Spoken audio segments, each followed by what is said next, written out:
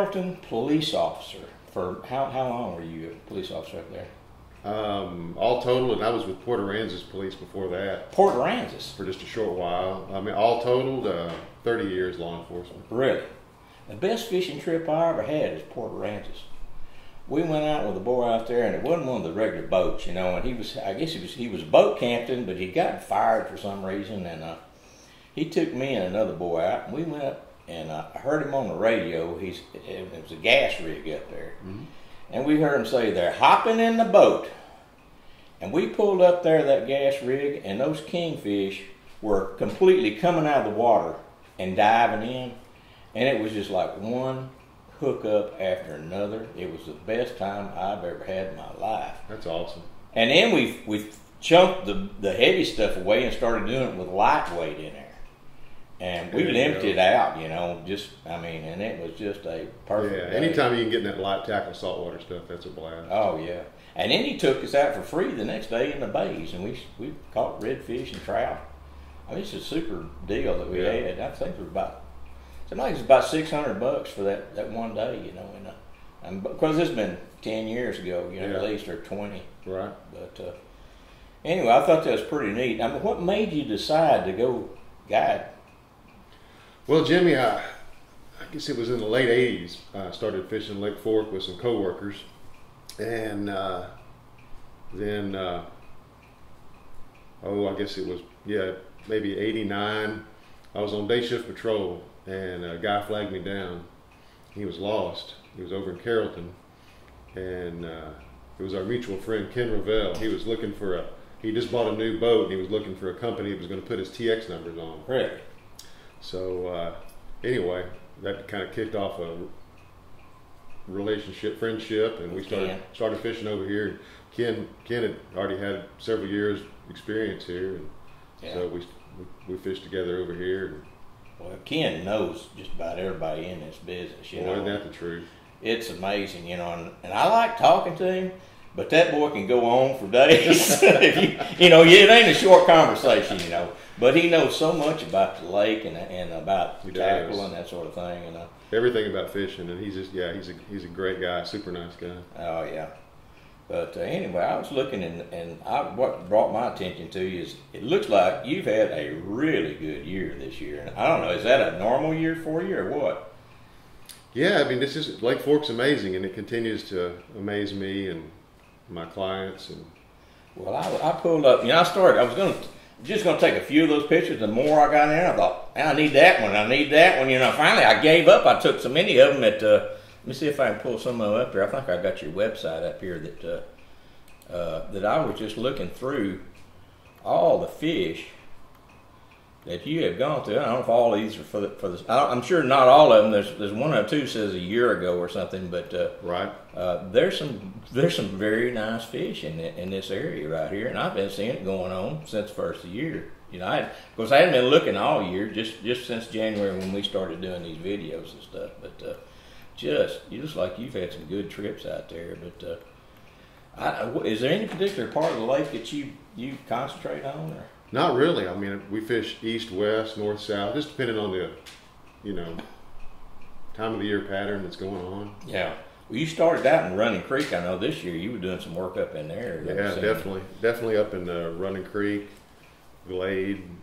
Yeah. You know, Like I, I do start, a, you know, the just like everybody else. When it's early season, you know, you're up north. You were actually north of the bridge, I think, up north of uh, these bridges up here. You were back Right. further for the other. That's Right. I get up in there. Now Bob Roberts fishes up there too, you know, and he was he was fishing back up and along in here, and I don't know where you guys were. Some people hit this point out here and that sort of stuff. Right. But, uh, I mean, back at that time, I mean, I used fishing shallow water. Is that right? Right. Yeah. Get up there, even in like Cades Lake or earlier season up there in the Cades Lake. Where's Cades Lake? on the on the northeast on the northeast side, Let's see. East of east of uh, Coffee. Back over in here. Yeah, right over there. Yeah.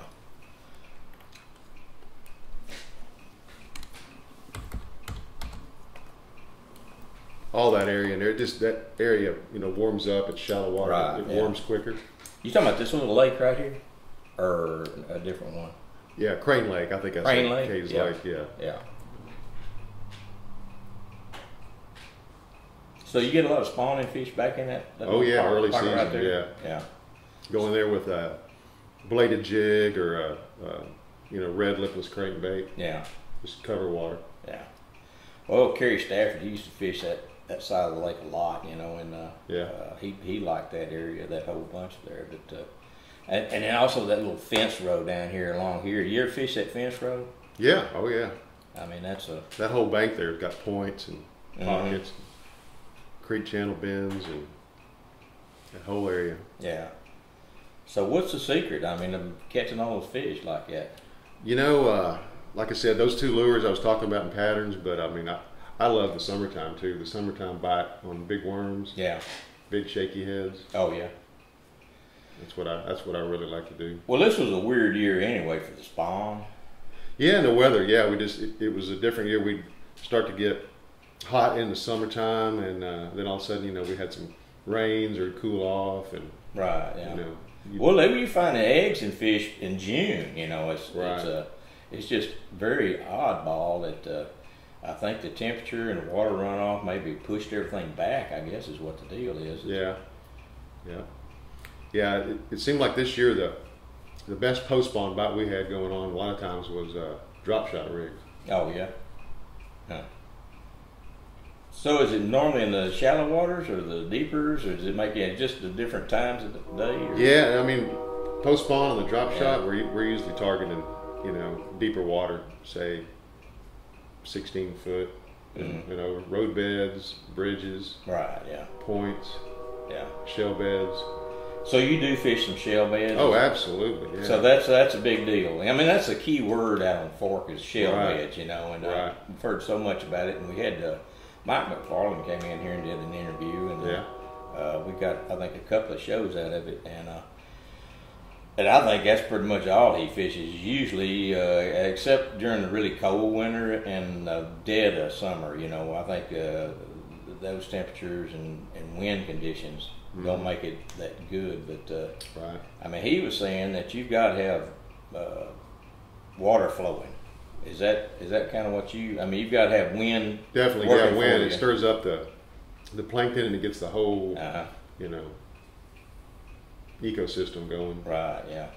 You know, I'm doing volume two of this book, and I'm, um, I probably won't be able to do it for the book, but I was thinking uh, we should, in some point in time, uh, concentrate on some of the better fishing areas. You know, like uh, more well known, and and really try to discern where those shell beds actually are on those places. Because to me, and I may be wrong about this, you would think that that might actually be a place that when you're fishing that thing, you really should know where that is Right. because that may actually be a, a, a key to, you know, hmm catching fish. But uh, Yeah, they're good. I mean, they're they're good pre-spawn locations because fish will feed and pull up on those, you know, pre-spawn and then again post-spawn. oh yeah, yeah, So just because you fish, you know, you're catching them and then you're not catching them later on the next time you come out, you know, just keep checking them. yeah.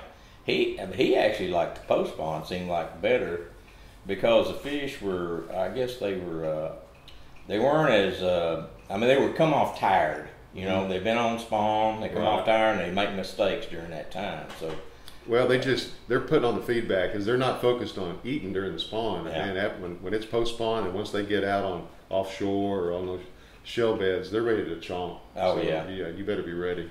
yeah, they. Uh, he said that he got he got more numbers during that time than during the, the pre spawn. But you can catch some really big ones, you know, pre-spawn on it, whether it's Yeah. cranking or you know, whatever you like to do, big big swim baits Yeah. on those shell beds and pre-spawn. You better have the net ready. Well, I was telling your wife there that uh, this place has a history that we've never really even talked about. Yeah. This this and where we where we broadcast it or film this. Martin Studios. Martin Studios and uh, give you a little history about it. Back in the fifties, this house it was built by an oil man back in the fifties, you know, and then he he ended up selling the house for some personal reasons, and a company came in here and turned this into the Shed Steakhouse, and it was the Shed Steakhouse for years. That part of the house over there is the original part. And then the steakhouse people came in here and built this part, and then they built a big part in the back that was the restaurant part. Hmm. And what it would be is you'd come in this door, this would be the entrance door, and that was kind of the house part. And so you'd walk straight back, and it was all you could eat steak for, for years. And everybody in Longview ate in this place. And it was really good. They had these special plates that you could hear them coming, they would sizzle. And it was kind of like a, the women wear, would wear the German type outfits, you know, and uh, you know our our senior class had their senior dinner here, you know. Wow. Then uh, they, for some reason, sold the business. I think they had a couple of other businesses in town, and I think they were still in the restaurant business, but they got out of this business and they sold it to a bunch called the East Texas Chicken Ranch.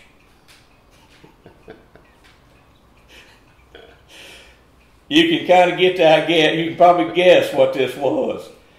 It was the Texas's only totally nude steakhouse. Wow. And for a short period of time, right, for a short period of time, that's what they did here. And, uh, well, anyway, this rocked on about a year, year and a half. They got crossways with the city of Longview down there, and people actually started picketing this place. And if I'd have run these people out of town in about 1994, I think it was, and uh, I mean, they were doing topless car washes outside. So, uh, but in this magazine, they got this is Texas Monthly Magazine, 1996, I think it was. They got the Bum Steer Award for this house. And they mentioned it in here and how, how the city of Longview ran these people out of town. But uh, so that's you're in a den of iniquity. Wow. But Longview trivia. Longview trivia. So I mean, that, this is a crazy area down through here anyway because uh, there were some crazy things happening in uh, I guess it was the seventies where the uh, uh, they actually prosecuted the Gregg County Sheriff and uh, police uh, captain of Longview for gambling and all kinds of stuff. And actually, the house next door was I think they were tied into it. They had a they had a I mean, well, it was a house. I mean, it's, now it's a oil company. Now that place is gone, but uh, they were they were doing all kinds of stuff down there, and uh, I think John Hannah out of Tyler is the one that prosecuted all this, and Wow. and I ended up knowing most of the people that was involved in that thing because my dad was in the concrete business, you know, and we, you know, you run into all kinds of people in the concrete business, Sure. but, uh, good and bad, and uh, and actually worked with one of the policemen at the wrestling matches, you know, that got sent to federal pen. Wow. so, so I don't know. It's it's just a crazy thing, you know, this area down here. But so this is this house is really not as bad as probably some of the other stuff that went on. But uh, anyway, we my wife was looking in the paper one day and she says, "I found this a house," and I says, "Well, we wasn't looking for a house, you know." It's the way it normally works, right? And uh, she says, "But I don't know where it is." I took one look at it. I says, "Well, that's a chicken ranch." And she said, "Well, we can we go see it?" And I says, "Yeah, sure," because I figured it'd be pretty much toast, you know. And uh, we came out here, and uh, uh, I'm looking. The back back there was terrible. It was about 200 percent moisture content, but the inside of the house wasn't too bad.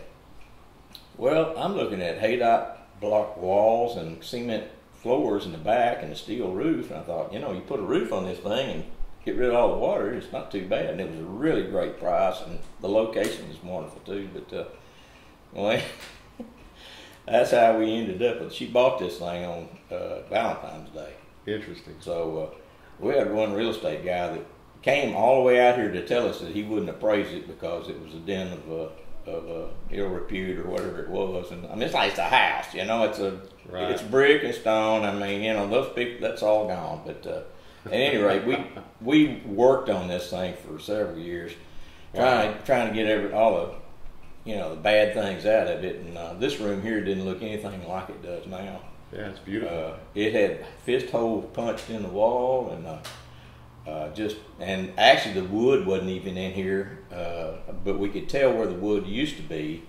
And I'd been in here before, you know, and uh, I never did come in here during the chicken ranch days. I, I kind of regret it. I would like to see what it looked like, but uh, uh, we did, you know, during our, our senior uh, banquet out here, did see it, and a lot of other people did too. But you know, everybody, we always have come people come up here and, and they'll say, "Yeah, I've been in here before," and they always say, "But it was during the Shed Steakhouse." Clarify it, right? right, right. but, but yeah, that's a that's a little bit of history there. Neat. Yeah, So, uh, very interesting.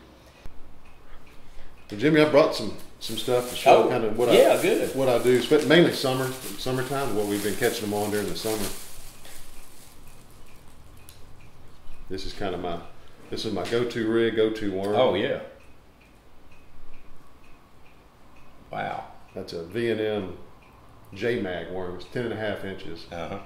straight tail. It's got a flat side on it, and it just moves a lot of water when you Just show it out. when Right. you, when you sink when it sinks.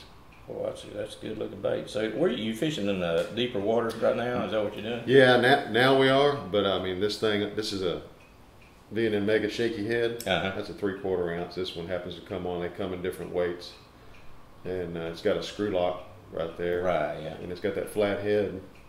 But uh, we'll we'll throw this on uh, even the, on the shell beds, and you can you can kind of count the shell. You just kind of keep it clunking along, hmm and uh, we'll catch fish on it in six seven foot of water in those shell beds. You just just depends where they're at. You know if they're they're up there feeding, and if it gets tough, you can throw this thing out there. And um, you know when you do get a bite on it, the thing I recommend is not setting the hook right away on them. It's a big worm, as you can see. Oh yeah. So, what I tell people is just drop your rod tip, take up the slack, and then Yeah. hit them as hard as you can. Huh. But you know, when you first feel them, they might just have the back of that worm. Well, that's right. You yank it right out of his mouth. Yeah. You, But we'll throw that out there on road well, that's a beds, big bait. road beds, timber. Yeah. You know, anywhere big fish live on fork, they, they they love that thing. You can throw it on a Texas rig if you're getting really thick stuff. Just put a bullet weight on that thing. You can throw it on a Carolina rig. Uh, you can even put a um, split shot. Hmm. Give it just a slower fall. You Yeah. got suspended fish and around some trees. That's a real killer way, especially when they're high pressure, no wind. And then they make a junior version of that called the J Mag Junior, and I, that's what I throw in a drop shot. A lot of Oh guys yeah. Will throw a, you know a small worm on a drop shot, but it's Uh-huh. like, it's like fork. So you know, I mean that's a that's a killer bait on a drop shot here. What color do you call that? You know? That's that's my favorite. It's plum apple. Uh huh. Plum apple or red bug seem to be the the Yeah. deal in the in the summertime. So you, you you you do this with a drop shot? Is that what you Yeah, on the drop shot rig. Hmm. And uh, you can you know you can throw lighter line on your tougher high pressure days, but there, you know if you're in an area where you got heavy cover and you know in big fish, especially if it's early and late, I'll use a 20 pound leader and maybe a half ounce weight or something. Mhm. Call it a power shot, you know, and a, and a bigger hook. I like an owner cover shot, about a four aught hook. Yeah, I always like using those owner hooks. Oh yeah. They're really sharp and they're It's just a long, straight shank. And then another thing I do um, in, around shallow vegetation, weeds, uh, lily pads, and stuff Mhm. like that. Um, a lot of times, if they're, if you know, they're not if people want to throw a frog, and if they're not, if you're missing fish, or that maybe they're just not coming up and blowing up on frogs, but you know you're around some shallow fish. yeah. Is this V and M thundershed? Oh yeah. Yeah. And what, what I do, I take a Gamakatsu 5 aught superline hook, which is kind of a heavy gauge hook. Uh, a lot of a lot of the deal on that, you don't want any you don't want any bend in the hook, but it's also a heavy gauge hook. It gives you a little uh, weight to throw the bait, and it keels it and kind of keeps it from rolling. You can use a real small screw in bullet weight too if you want to, or Yeah. or a or a, um, a hook with a weight on the shank. Um, if you do put a screw in hook, a screw in weight in the front of it, you want to seat your hook a little deeper in the bait first, you know, to give, leave your room to screw, Uh-huh. screw in your bullet weight. Yeah. But anyway, I'll throw this where, where everybody wants to throw a frog. Throw this thing, throw it all the way to the bank if you want to, and then I just like to crawl it, keeping the tail moving, keep it on the surface, Mhm. and uh, it seems to draw fish, draw strikes. Like I said, if they're not coming up on a frog, um, you'll get some jarring strikes. And it's but it's like a frog. When you do get a blow up, don't hit them right away. I just, just keep reeling till, Oh, yeah. till the rod loads up, and then you set it just as hard as you possibly can. What color would you call that? That's a That's a light hitch. Light hitch. Yeah, light hitch. You know, if I think they're on shad, if they're, um, you know, early season, I might even throw green pumpkin. I mean, if they're like when the bluegill are spawning, I'll, I'll, Uh-huh. I'll uh, dip the tail in chartreuse Yeah. and throw a green pumpkin. But you know, in the fall, they're they're up there. The shad will start moving from now till, you know, later in the fall. The shad are moving up shallow, and if they're on shad, I like to throw a shad colored. Oh yeah. But I'm telling you, it just I seem to. I also seem to get better hookup ratio than a frog with that technique. Just there. throw it in a slop, yeah. And uh, you want 20 pound fluorocarbon or braided line because it's a, you know, it's a power technique in the weeds, and Yeah. you got to winch them out. Well, it looked like you've been getting a lot of women uh, guide trips. Is that right? Yes, I have. Yeah. Yeah, it's great. You know, we. Uh, that's funny. We we don't have any guide. Uh, you know, you're a member of the cl- of, of the Lake Fork Maps. You know, I guess it's okay to say that. oh heck yeah! well, I, I, recommend always wonder if I ought to even tell anybody about it because I don't want anybody. You know. Uh, Oh wow, I recommend it. Yeah. Okay. great. You know, I've sent people to you. So. well, I know you have, yeah, but you know, it's just you know, you always try to out of courtesy, not you know. no, Uh, shit, yeah, man. Uh, but uh, we have no women members, you know, and and Bob been kind of brainstorming that and wondering how we could get some members. Right. I was thinking maybe he could take his shirt off and we get a little bow tie. but so far he's he hadn't gone for that. yeah. No, I think it's great. I mean, I, I love that you know, guys bringing their wives. I've had women come by themselves, Yeah. and people bringing kids. I, I mean, family trips. It's it's all great. Well, didn't they used to have a good Bassingal club in at Fork at one time? 'Cause I know think so. Sherry Rustlick. Did Right. you ever know Sherry? Not personally, just heard of her for years. Well, I, she was a Bassingal, I'm Right. pretty sure, and and there's a bunch of those girls up there that would do that. But Right. uh, that's uh, you know, I would like to see that happen for Fork, you know. But uh, Yeah. uh, it's you know, it just amazes me some of the the backgrounds of people that that are up there. Right. That, uh, it's like we.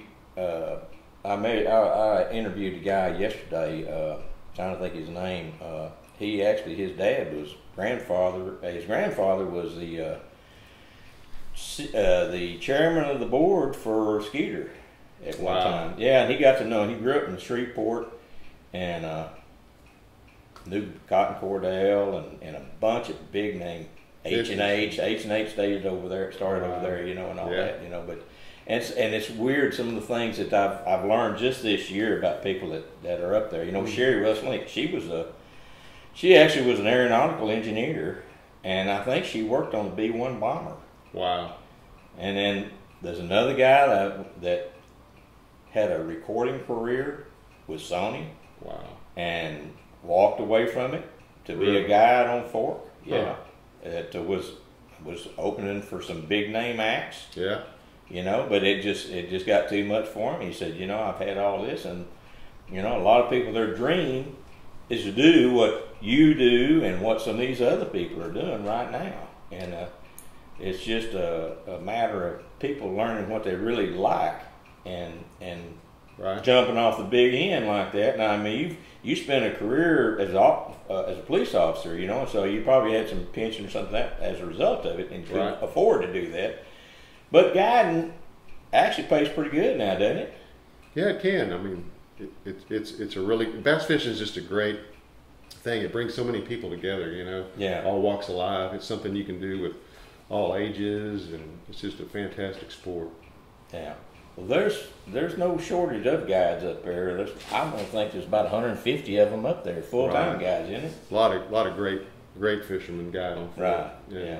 Everybody's got something to share and teach with people in different styles and strengths, and so Yeah. it's it's a great place to learn from everybody. You know. Well, I'm I'm learning as I go. Still, you know, I've been up there since. Uh, well, it's been a lot, longer than I can remember. You know, Yeah. going up there, and I, and I still learn as as I go. You know, Oh, heck uh, yeah. The shell bed thing. That's that's something. Just kind of threw us all for a loop. You know, uh, trying to trying to learn that too. But uh, and a lot of it has to do with the, the grass loss. You know, and uh, Mhm. and it sounds like they're working on trying to get some of that back to where they're trying to build some little guards for them, seeing experimenting with that, you know, Right. and see how that does, and, and that's why shell beds, I guess, have become so much more important now, Absolutely. you know. Yeah, it's kind of been an evolution from grass to that, but grass has really come back on fork in some spots. It? Yeah. Okay. Well, I always always loved that. You know, we used to fish Martin Creek down there, and Right. you ever fish Martin Creek? Mm, long time ago. I mean, it was that's all it was was grass, and, I, Right. and that was that was so good. And Right. then they they killed all the grass out there, and I actually hadn't been back since. You know, and I just hadn't been able to go down there. But Yeah.